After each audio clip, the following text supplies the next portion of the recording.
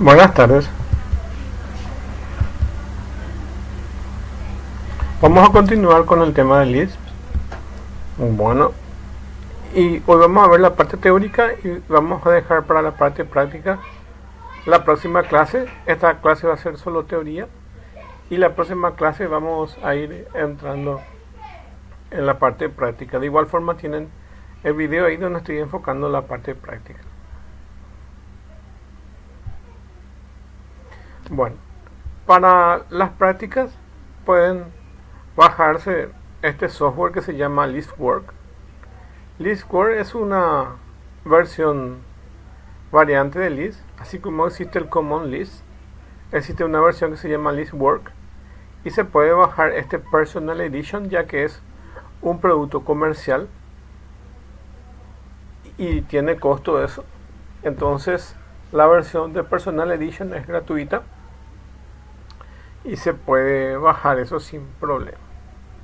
Entonces dentro del pdf tienen el enlace entonces hacen clic sobre este download y se va a ir a esta otra ventana donde básicamente va a entrar en una página web donde les va a permitir bajar el personal edition.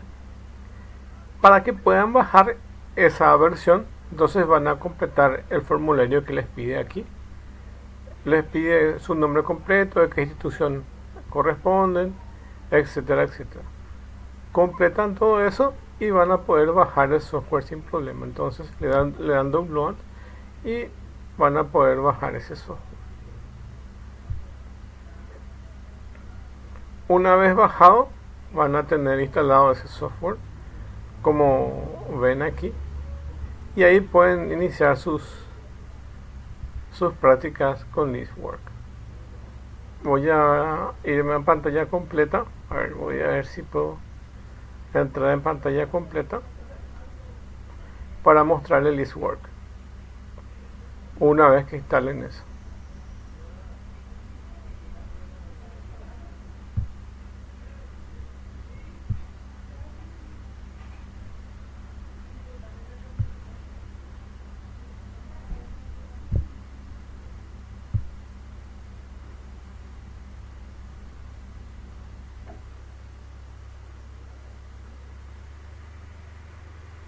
Una vez que tienen instalado, entonces se van a buscar el programa ListWork.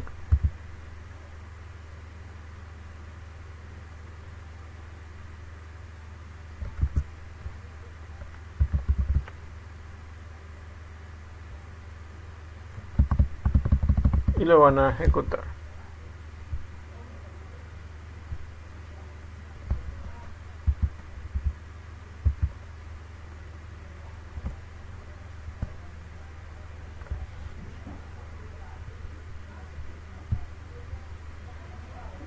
Entonces se van aquí buscan no sé si tengo instalado esta computadora yo creo que no sé si instalé aquí.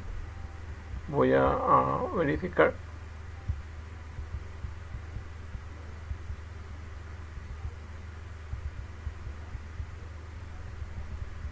O si no lo voy a bajar un rato para que se pueda ver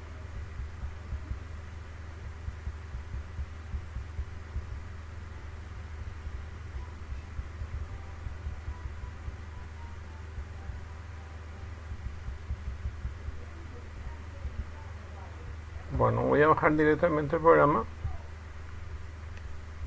Voy a ubicar el archivo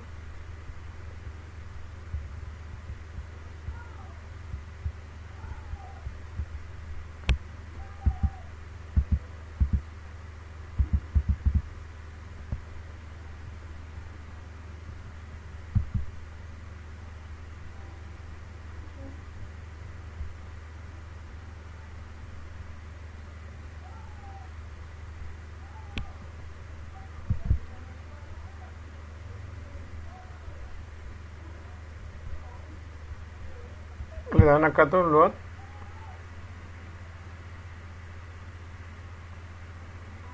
Y se vaya al navegador para que puedan ver eso.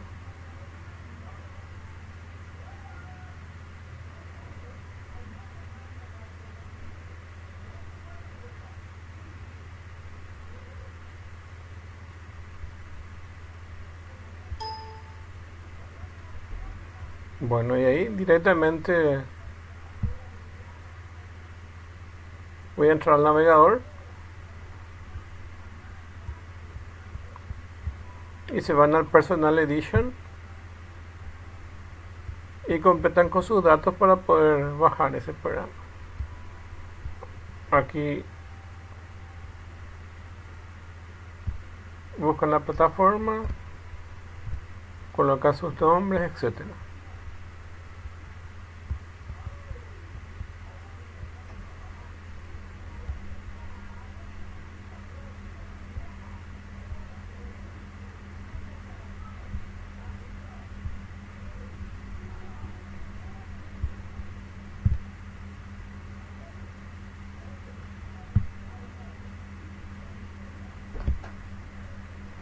Ahí proceden a bajar el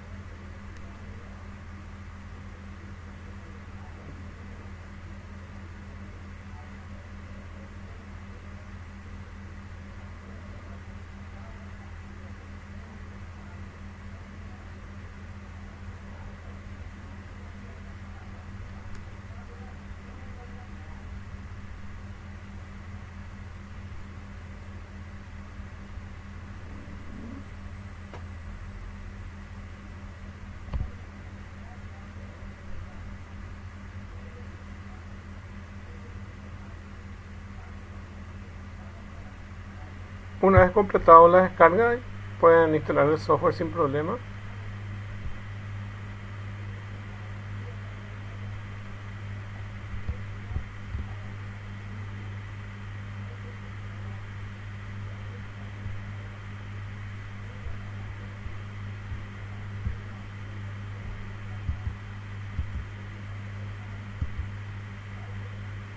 Siguen todos los pasos para la instalación y luego van a poder utilizar software.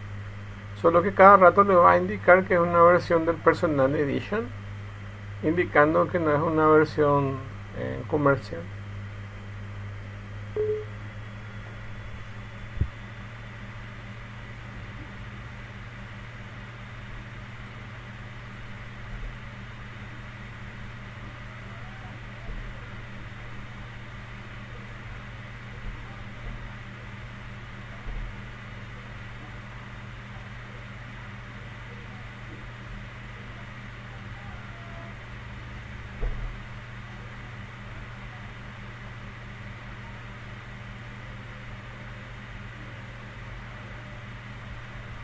Y ahí termina todo el proceso de instalación y vamos a probar eso.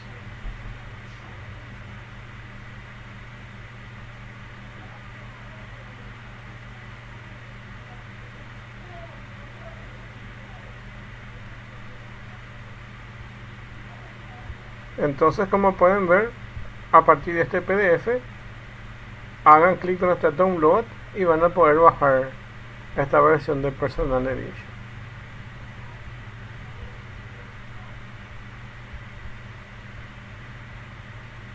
y aquí tienen el list Word para probar.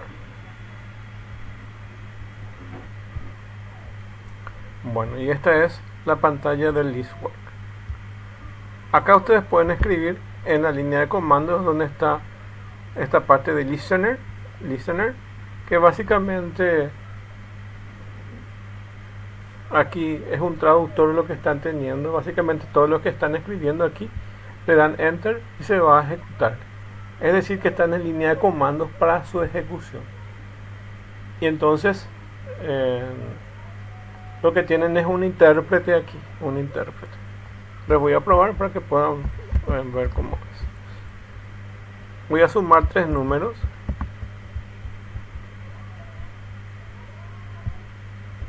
Entonces abro paréntesis escribo el signo más y luego escribo tres números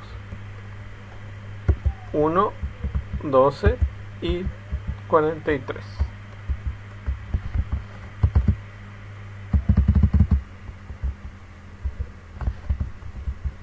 Y cierro paréntesis. Entonces, le dan enter y aquí en línea de comandos le va a dar la suma que es lo que estamos viendo. De igual forma podemos multiplicar o dividir. En este caso voy a multiplicar 1, 2 y 4 3 por 4, 12 entonces 12 me va a dar resultado.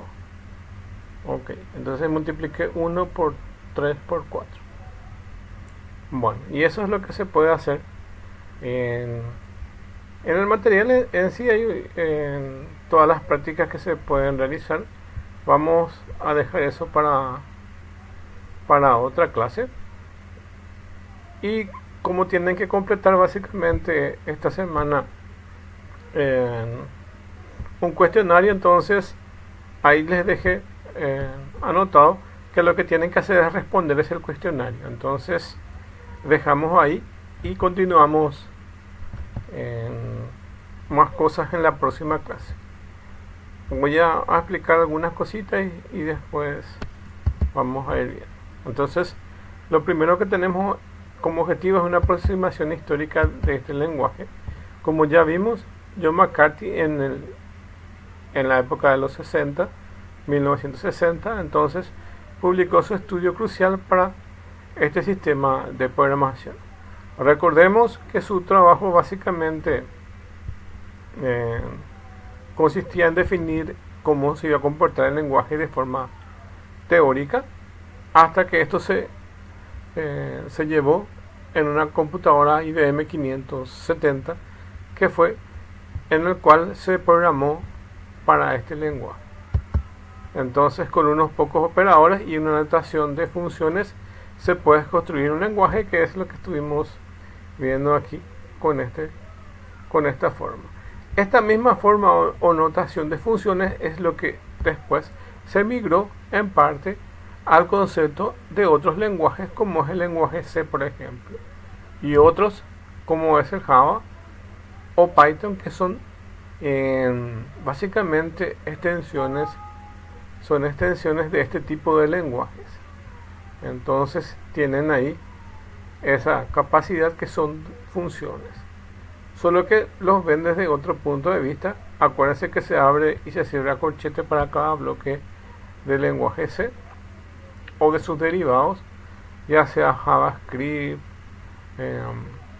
PHP, em, etc. Entonces, o TypeScript o todos los nuevos lenguajes que tienen ese tipo de estructura.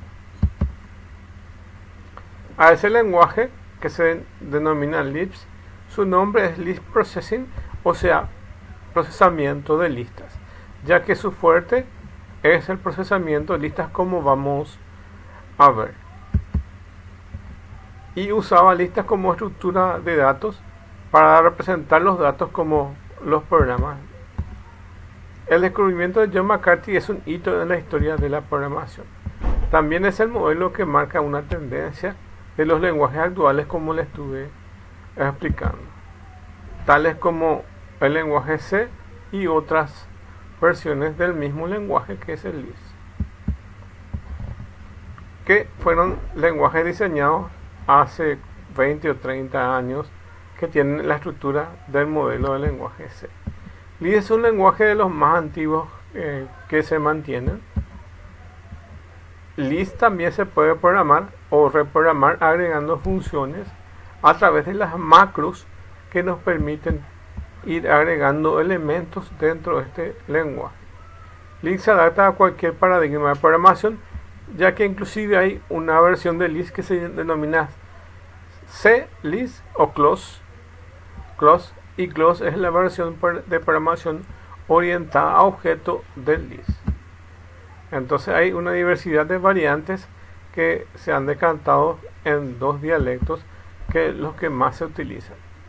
Uno es el Common Lisp, que es básicamente eh, la reunión de de todos esos LIS que, que, fueron, de todas esas ramas de LIS que se fueron creando, entonces esto se inició en los años 60, 70, 80 y más o menos a finales de los años 1980, cerca de, los 1990, eh, como existían diferentes tipos de versiones de LIS, entonces eh, un grupo se encargó de juntar lo mejor que tenía o lo más común que tenía la mayoría de los eh, dialectos del lenguaje LIS y lo denominaron como LIS, que es una versión maximalista de, este lenguaje, ya que reúne las mejores características de la mayoría de los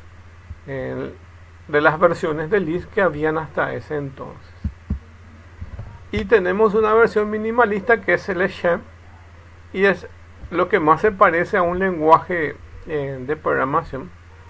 Si, si buscan en internet van a encontrar, o después les voy a mostrar un video que se llama eh, Doctor eh, Jacket, que es una versión derivada del, lenguaje Shem y básicamente es una versión que más se parece a la mayoría de los lenguajes que conocemos. Entonces la versión minimalista es el Shem, ya que eh, suprime muchas de, las definiciones que están en el Common Lisp y tienen una versión más pequeña pero más adaptativa a los lenguajes. Por ejemplo, tiene el ciclo for, el while y otros eh, elementos de control que el Common Lisp no tiene. En cambio, el Common Lisp tiene otra forma de denominar y la versión más fácil de aprender es el. Además de las implementaciones de Lisp como lenguaje, las versiones más pequeñas, como se menciona, es el Shen, que es un conjunto de Lisp que también puede ser el xlib o ellipse y que en algunos casos se encuentran en aplicaciones específicas de lenguajes tipo scripts como es el caso eh, del actual em, hoy en día existe una versión que se llama experta que les voy a mostrar en, otra clase que es una versión básicamente en Python de, de Belis. Entonces ahí tienen una versión que es básicamente de la parte de ingeniería de conocimiento que tiene ese uso. Y también hay algunas eh, versiones de Python que soportan lenguaje LIS. Emacs es un editor de texto igual que Ellipse y sirven para poder eh, editar los programas fuentes el Mac se hizo también, su base está en, en lenguaje C y en partes del lenguaje Lisp. HIM, que es el editor de gráficos, que utiliza Shem. Entonces, el famoso editor de gráficos, así como existe el Photoshop, la versión, la competencia gratuita es el HIM y, así, y básicamente utiliza una versión de Lisp internamente para compilar todo ese proceso. Recuerden que cuando estén dando, programación, básicamente el hecho de que ustedes puedan tener herramientas para compilar, lo que quiere decir eso es que ustedes básicamente hoy en día no van a compilar en formato texto, sino básicamente van a compilarlo en formato gráfico cualquiera sea el lenguaje que lo van a compilar. Entonces, las estructuras hoy en día son gráficas. Es decir, que por ejemplo dentro de este GIMP tienen una estructura eh, tipo de gráficos, pero internamente está funcionando un lenguaje.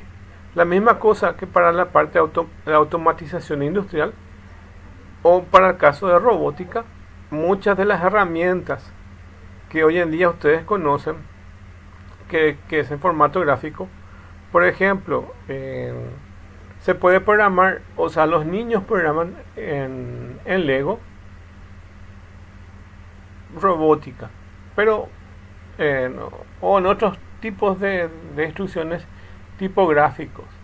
Pero básicamente, aunque lo programan en forma gráfica, por debajo tiene un compilador. Entonces funciona eso. Y GIMP es la misma cosa. Por debajo de ese editor gráfico tiene un compilador de lenguaje Lisp, que es el Shen que estuvimos mencionando, que es la versión minimalista de este lenguaje. Audacity, que es básicamente una herramienta para editar sonidos, entonces como un editor de, gráficos y es básicamente este programa de Audacity que es básicamente uno de los más extendidos para la edición de, sonidos ya que permite básicamente manipular eh, los sonidos agregarle eco normalizar el sonido etcétera todas estas eh, funciones se pueden hacer gracias a una versión también de Lisp. Niquis, que es una función matemática que se usa mucho en electrónica o en, procesamiento de filtrado de señales. También existe otro, otra, otro programa que es el Lilipon que nos permite eh, preparar partituras musicales a través del Shen. O el mismo AutoCAD, el mismo AutoCAD que, que es una herramienta de diseño de arquitectura e ingeniería o de diseño técnico que nos permite programar con el, con el Visual Libs que luego se denominó Autolibs que es la versión de Xlibs para poder programar dentro de, del AutoCAD que es una, una versión que también tiene bueno acá viene lo más importante. Voy a, ir corriendo algunas, algunas definiciones y voy a ir mostrando cuál es el resultado de esto. Y en la próxima clase vamos a continuar. Creo que está el examen antes, o sea, voy a, voy a fijarme antes de terminar la clase a ver que continuamos.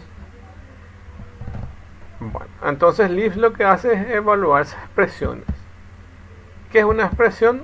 Ya vimos en la clase pasada que es un átomo, una lista y también una cadena de caracteres.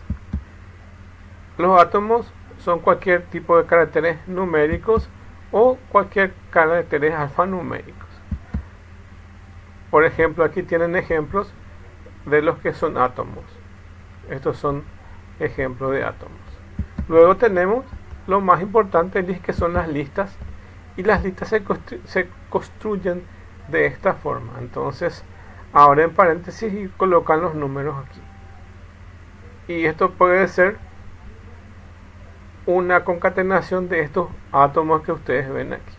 Entonces puede ser una lista de números o puede ser una lista de alfanumérica que básicamente, como ven aquí, soporta los alfanuméricos.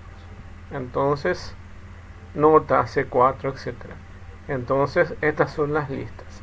Para que una lista pueda ser entendida como lista, entonces tiene que abrirse paréntesis y cerrarse paréntesis y dejar un espacio entre cada elemento de la lista. Mm. También una lista puede ser vacía, es decir, que no contenga elementos. Cuando uno está dentro del listword que es el programa que estamos viendo aquí. Básicamente, si estamos en la parte interactiva, entonces se pueden usar estos comandos wait que espera un momento, como ven aquí. Ven este símbolo que es el mismo que tienen aquí esperando.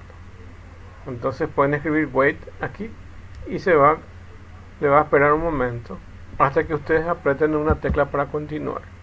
Si necesitan leer valores numéricos, o, los valores que van a tener en la lista, entonces pueden usar la sentencia read y el usuario escribe una expresión y se va a evaluar esa expresión. Entonces aquí lee un valor numérico. Bueno, y lo que hace el list es evaluar esta expresión. Esta expresión es esta que está aquí. Y list tiene la posibilidad de tratarlo como si fuera elementos de átomo que, que no son evaluados o básicamente hacer el cálculo que está aquí. Cuando se hace el cálculo, se denomina que Liz evalúa la expresión. Eso significa eso, que cuando Liz hace el cálculo evalúa la expresión. O bien no evalúa la expresión y te va a mostrar estos, estos valores 3 y 4 sin hacer el cálculo. Bueno, en este caso, la evaluación de esta expresión es la suma de 3 y 4, que da 7. Bueno, los valores numéricos devuelven su valor. Y si es un símbolo, si el nombre comienza por dos puntos, entonces devuelve el mismo nombre que básicamente no evalúa la expresión. Si tiene ligado un valor, devuelve ese valor.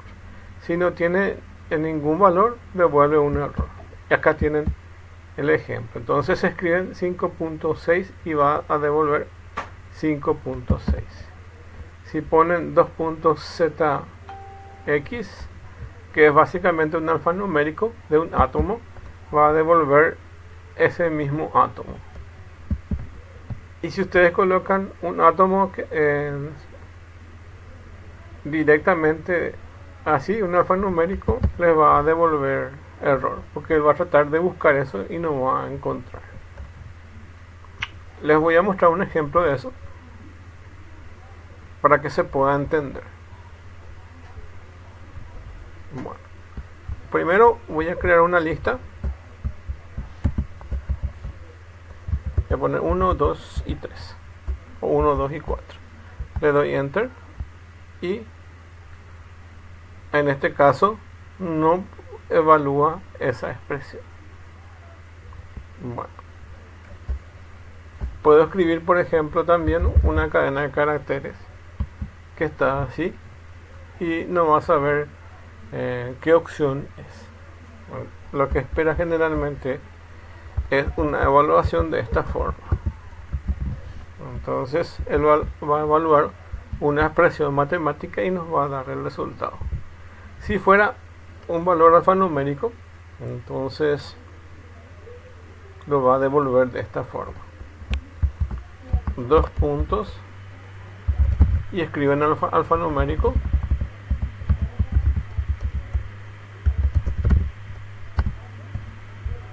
y ahí va a evaluar el alfanumérico con el dos puntos y va a devolver el resultado del alfanumérico entonces lo tienen ahí cuáles son los, los valores básicos evaluados los valores básicos evaluados son los del cálculo o bien el alfanumérico mismo y se pone dos puntos para que se pueda evaluar eso. Vamos a ver cuando tengamos la lista que continúa después.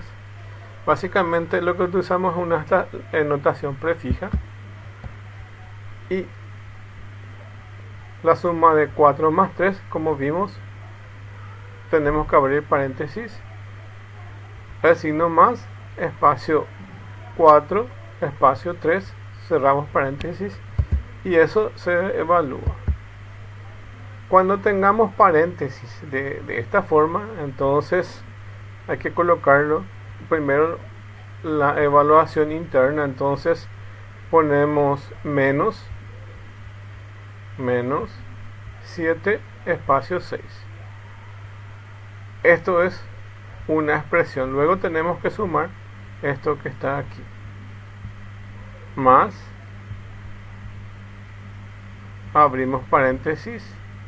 Y acá está es una multiplicación como se pueden dar cuenta. Entonces ponemos el signo por. Y por un lado un valor de esa expresión es el 3 entonces ponemos eh, asterisco que es por espacio 3 espacio todo este grupo que ya que ya eh, construimos que es el que está aquí, y cerramos los paréntesis apropiadamente. Entonces, el primer paréntesis que abrimos aquí se cierra con el último. Este, el segundo se cierra con el anteúltimo. Y por último, tenemos el paréntesis más interno que es este que está ahí. Que es este que está ahí. Entonces, se forma de esa forma y se evalúa el que está en su valor más interno. Entonces la primera evaluación es este paréntesis, luego el anteúltimo y luego el último. Así como se evalúa en matemática eh, los paréntesis más internos, también se evalúa en el is los paréntesis más internos. Entonces el primer elemento de la lista es la operación, los demás elementos son los operandos.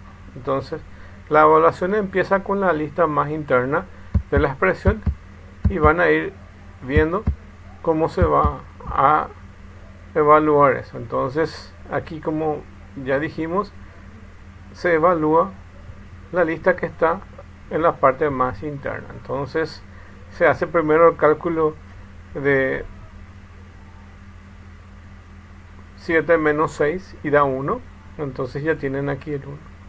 Luego van a hacer el cálculo de 3 por 1 y 3 por 1 es 3 y luego van a sumar en el 3 más 4 y le va a dar el resultado de 7 así se forma la evaluación entonces se evalúa el resto de los elementos y se aplica un argumento a la función. Bueno y esto vamos a ir viendo ya en la próxima clase. Esto ya es una asignación de variables. Entonces aquí asignamos las variables. Set x cualquier valor entonces asigna ese valor. Les voy a mostrar con el ejemplo para que se puedan entender voy a asignar set q es la asignación. Abro paréntesis Ay, voy a voy a abrir primero paréntesis aquí. Set q y ahí asigno un valor a una variable.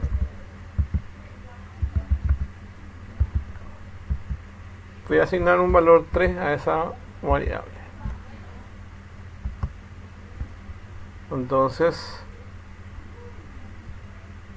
voy a asignar aquí como muestra acá set q a x y luego el valor de esa expresión y cierro paréntesis ok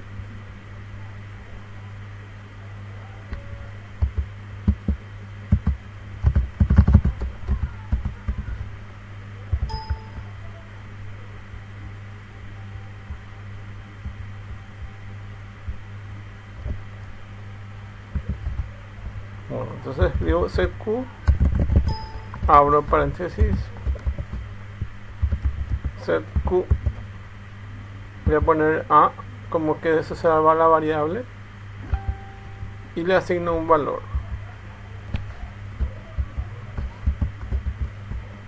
Entonces la variable a va a tener el valor de 3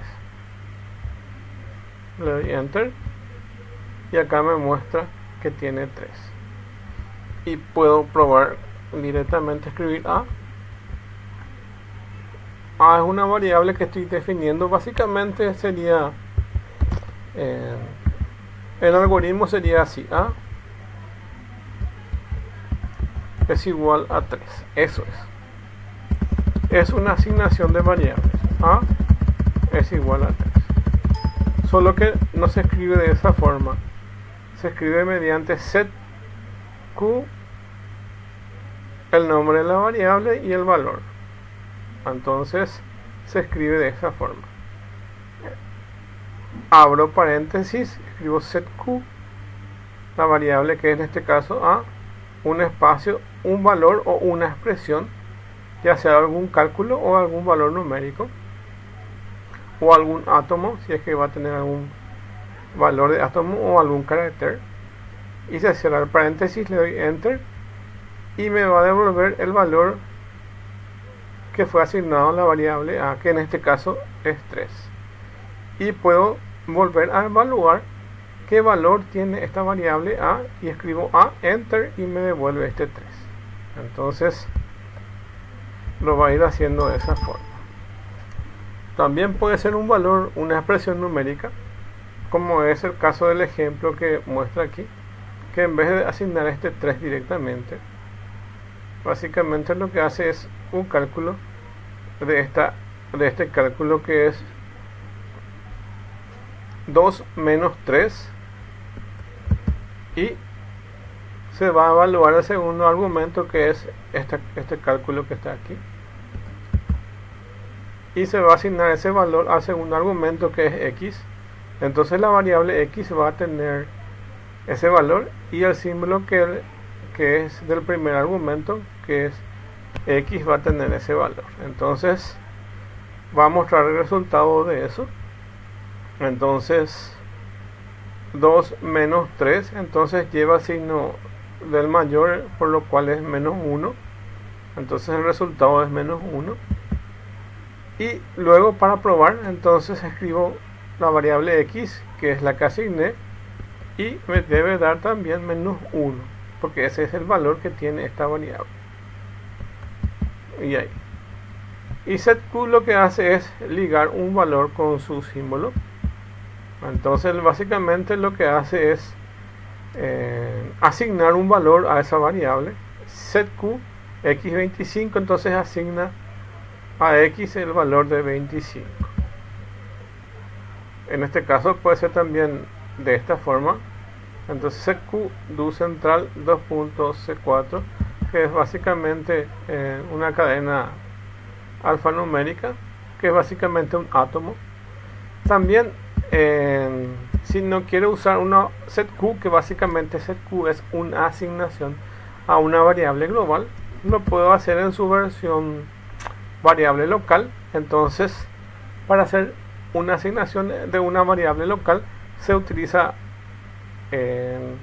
let, entonces liga valores locales uno a uno varios o ninguno a cada 100.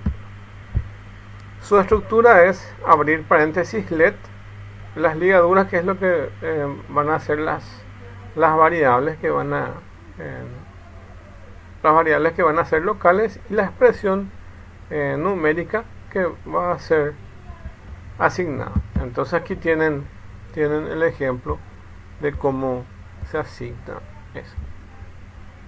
Entonces es let abren eh, paréntesis, pero antes tienen que abrir el primer paréntesis que es antes de del comando let y en este caso van a eh, asignar valores.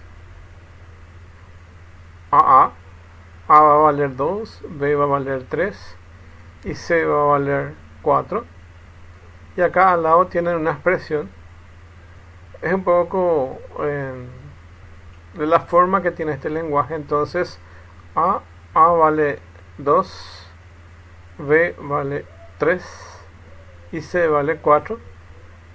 Va a ser como la función eh, de álgebra, entonces va a asignar valores a estas, a estas variables y va a hacer el cálculo. Entonces, gracias a esas asignaciones que se hicieron de forma local aquí, entonces va a mostrar el resultado de 10. Eso es lo que hace. Básicamente evalúa todo eso. Entonces asigna a la variable A el valor de 2. Asigna a la variable B el número 3. Asigna el valor de la variable C4. Y luego tiene la expresión matemática. Y se carga el valor de A, el valor de B y el valor de C según lo que se indicó aquí. Aquí y aquí y aquí. Y ahí entonces va a evaluar toda esa expresión. Bueno. Y si quieren eh, verificar el valor de A, como A es una variable local, significa que solo en este, en, este paréntesis que se abre aquí va a tener el valor de 2. Entonces aquí va a dar un mensaje de error porque no está asignado globalmente, sino solo localmente. Solo está asignado dentro de esta línea. Entonces, acuérdense que todo lo que está abierto un paréntesis y cerrado un paréntesis es un bloque. Entonces, dentro de este bloque se asignó la variable A, la variable B y la variable C. Si yo fuera de ese bloque y no fue definido con setQ, setQ es una definición de variable eh, global, entonces, esta variable A no, no existe fuera de esta expresión local. Entonces, me va a dar un mensaje de error. Para que se pueda entender un poco la diferencia entre let y setQ. Entonces, nosotros aquí aplicamos set q a la variable a, entonces a tiene un valor, set q a espacio 3, entonces asigna a el valor de 3. Cuando yo evalúo el valor de a que está aquí, entonces él me va a devolver 3. Pero cuando le aplicamos let a esa misma variable a, entonces él me va a dar un mensaje de error. El compilador me da un mensaje error porque no fue definida globalmente, sino solo localmente.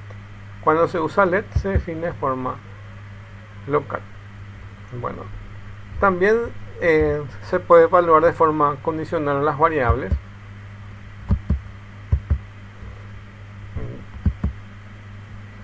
Y aquí básicamente una condición, expresión lógica a evaluarse que se va a evaluar aquí.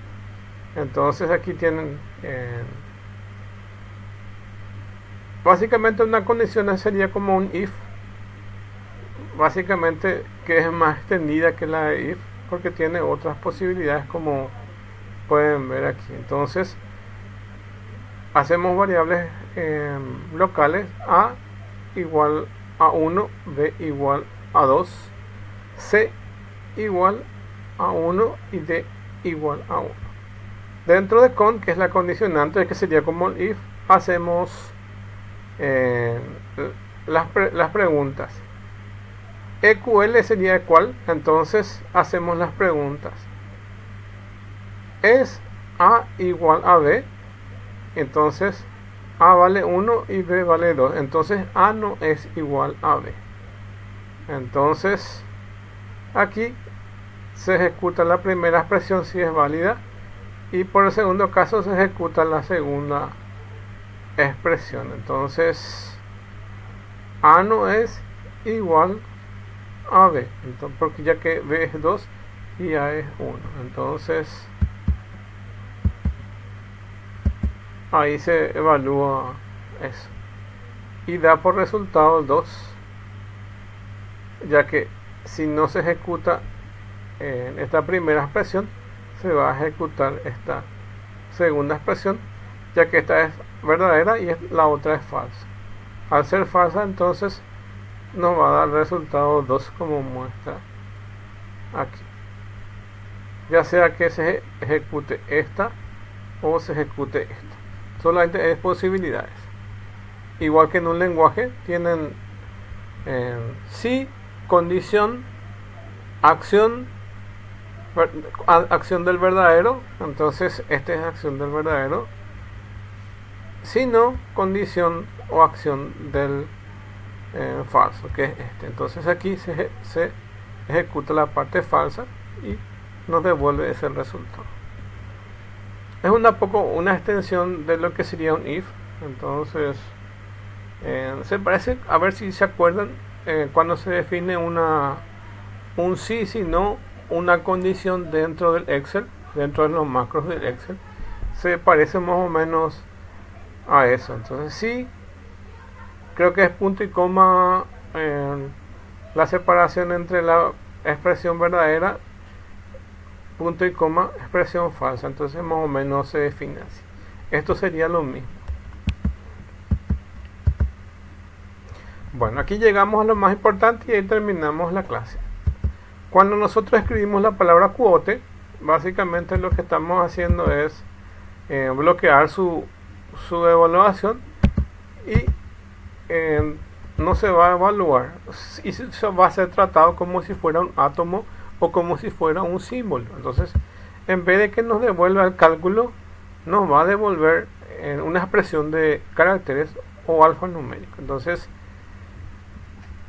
pueden usar la palabra cuote que ven aquí o este símbolo que está aquí. A ver, ese símbolo que está ahí o la palabra cuote, da lo mismo. Vamos a ver ejemplos para que se entienda. Y dejamos la clase y vamos, dejamos la clase hasta aquí y continuamos la próxima semana. Cuando yo le escribo la palabra cuote A, no se va a evaluar el valor que tiene A. Acuérdense que A en este caso tenía un valor que es 3. Si yo escribo acá, se va a evaluar esto y me va a devolver ese valor de 3.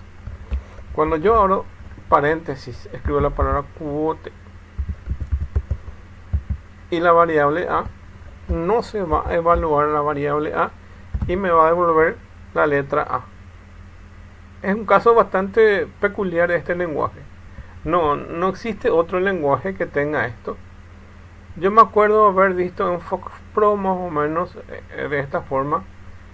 Eh, básicamente eh, una expresión o dentro del mismo SQL que de repente podemos escribir entre comillitas algunas cositas. Mm, pero aquí lo que nos permite es eh, evaluar o no evaluar una expresión. En este caso, cuando yo escribo la letra A, él me devuelve ese valor, está evaluando. Ahí está haciendo un cálculo y está evaluando.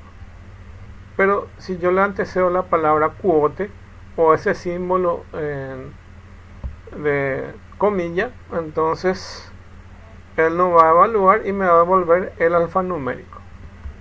Gracias a, esta expresión es que se puede construir con las macros otras definiciones para este lenguaje, entonces se va agregando nuevas definiciones al lenguaje, ya que nos permite no evaluar ciertas expresiones.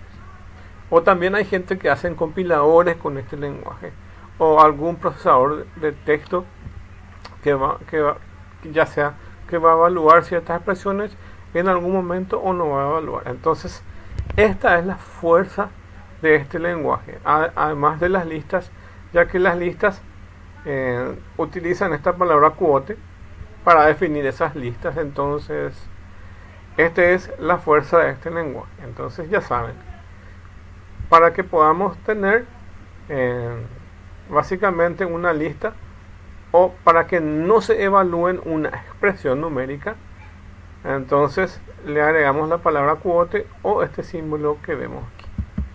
Entonces aquí, como vimos en el ejemplo que le mostré aquí, si escribo la palabra eh, quote de la variable a, en vez de que me evalúe el valor de 3 que es lo que tiene esa variable, me va a escribir su alfanumérico que es a.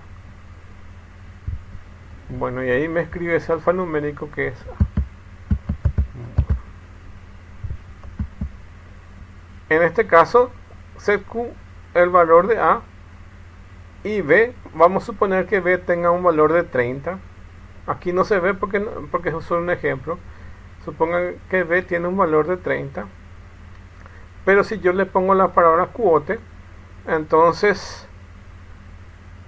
A es igual a B sería esto. A es igual a B. Pero si B tiene 30, entonces A va a tener 30, que es esa asignación. Pero si tiene la palabra quote, lo que va a hacer es no evaluar esto que está entre paréntesis. Entonces me va a devolver el valor de B. Y aquí B significa un valor alfanumérico. Entonces A va a tener B. A ver si se entiende. Entonces a no tiene un valor numérico si no tiene el alfanumérico B. Ok. Eso es lo que muestra aquí. Entonces aquí, ya que cada vez que le ponemos quote a cualquier variable, entonces no devuelve el nombre de la variable y no su valor, no evalúa eso, no genera su evaluación. Entonces, A tiene el valor de B. Ok. Y si yo veo que tiene A, va a tener B también. Entonces, eso es lo que hace. Bueno, y dejamos ahí porque básicamente esta construcción de pares ordenados ya son las listas. Cuando yo escribo la palabra cons y eh, quote A y quote B, que, que su forma más corta es de esta forma, básicamente aquí estoy construyendo una lista. Entonces A es una lista y B es una lista. Por eso es importante cuando se le agrega este quote o este símbolo que básicamente ya nos posibilita construir lo que básicamente es la fuerte de este lenguaje que es la manipulación de listas. Entonces ahí ya tenemos ese par ordenado que son las listas, que serían como unos vectores propiamente dicho. Entonces, ahí tienen esas constantes y estamos construyendo con eso eh, unos pares ordenados que ya constituyen las listas. Entonces dice acá constructor de un par ordenado que puede construir listas. Y su formato es cons, primer elemento, segundo elemento, tercer elemento, etcétera. Entonces va a ir creciendo aquí. Cons, primer elemento, segundo elemento, etcétera. Cons, entonces aquí es el alfanumérico de A, espacio el alfanumérico de B.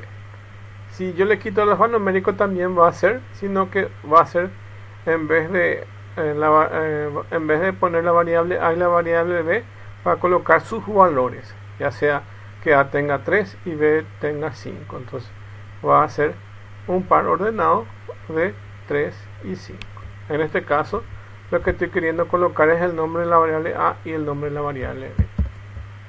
Bueno, y aquí tenemos las variables, digo, ya tenemos las listas y las listas se construyen a partir de estos cons que estamos viendo aquí.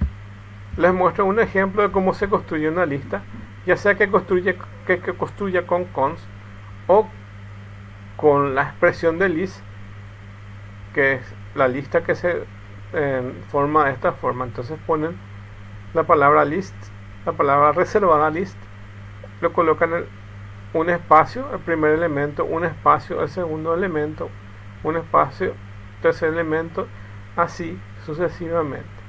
Abren y cierran paréntesis, ya tienen la lista. Ejemplo, en este caso voy a tener una, eh, una lista de estos valores 1, 2 y 3. Entonces abro paréntesis la palabra list 1 espacio 2 espacio 3 cierro paréntesis le doy enter a eso y ahí se construye mi lista. Por eso es que les dije que son como vectores. Las primeras versiones del lenguaje list utilizan listas. Ahora el Shen y el Dr. Racket y las otras versiones más nuevas del, lenguaje list también incluyen eh, vectores. Entonces puede ser algo confuso trabajar con listas y trabajar con vectores porque en realidad parecen la misma cosa probablemente la única variante es que eh, es tener el concepto mismo ya que si se acuerdan un vector es un espacio contiguo de elementos. Entonces son casilleros que están contiguos. Entonces es un espacio de memoria que básicamente es lineal y está en, empieza en un punto y termina en un punto.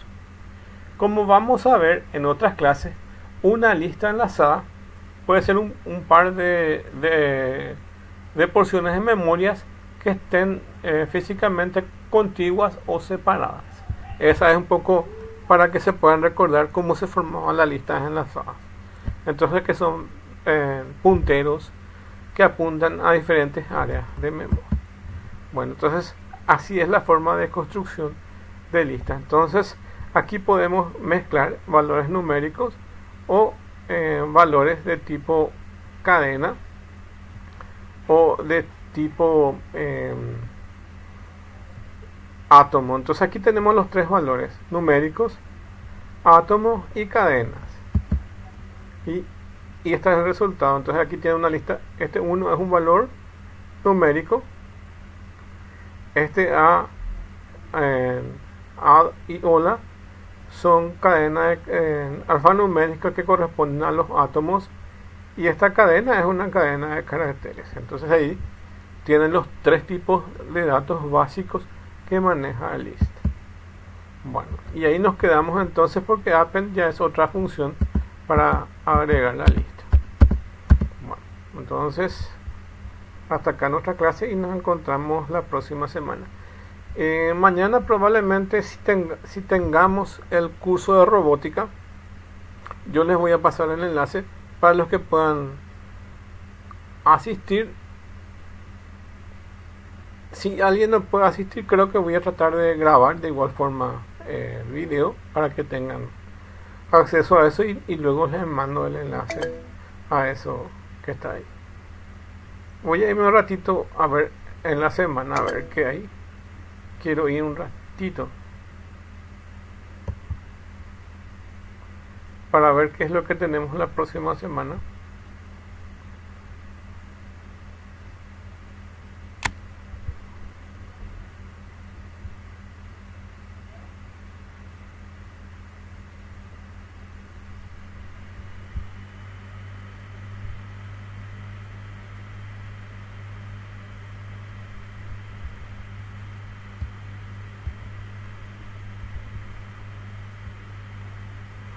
Bueno, entonces el lunes 18 ya es la primera parcial. Entonces la próxima semana ya tenemos la parcial. Bueno, muchas gracias.